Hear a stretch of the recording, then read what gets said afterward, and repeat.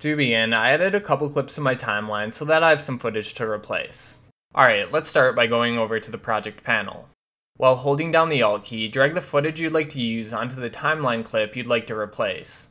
Now you'll notice that while this worked, Premiere didn't adjust the duration of our clip to fit the one we replaced it with. Since our original clip was longer than our replacement clip, we get some black video on the end represented by some diagonal lines on the clip. Unfortunately, there's no way to avoid this when you're inserting your new clip, so you'll have to do a quick manual adjustment.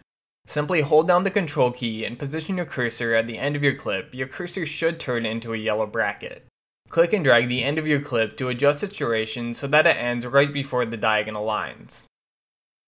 Now, if your old clip is shorter than the new clip you're inserting, you'll have to extend your clip's duration in the other direction to see all your footage. Okay, and that's all I have for this video. Thanks for watching and see you next time.